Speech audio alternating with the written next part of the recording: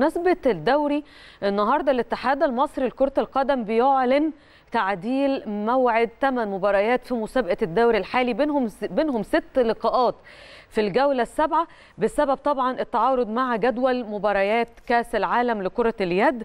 طبعا ده جه ضمن المباريات اللي تم تعديل موعدها. مباراة الأهلي أمام الإنتاج الحربي هتقام المفروض يوم الثلاث 12 يناير بدلا من الجمعة يوم 15 يناير. بدل طبعا من 15 آه طبعا آه. إحنا كمان حريصين إن إحنا كمان نتفرج أو جماهير مصر تتفرج طبعاً. على بطولة كأس العالم لكرة اليد. اليد, إن شاء الله اللي تقام في مصر فده مهم جدا لسه مع أخبار الجبلية النهارده كمان اختارت إدارة المسابقات باتحاد الكرة المصري الأندية المشاركة في مسابقة الدوري العام باقسامه الأربعة بإنه بيحق للجنه لجنة المسابقات الدراسة والنظر في تأجيل أي مباراة في حاله طلب النادي آه، إنه ظهر أكتر من آه، خمس لعيبة بإصابة آه، آه، طبعا كورونا أو أي عدد آه، من حارس مرمى في آه، المقيدين بالفريق الأول. طبعا يعني آه، كان من فترة نفتكر إن طبعا اللجنة الثلاثية بقيادة أحمد مجاهد كانوا قالوا إن إحنا هنزود القائمه شوية ل 40 وهنزود عدد اللعيبة آه، تحسبا لإصابات كورونا. النهارده بيقولوا لو أي فرقة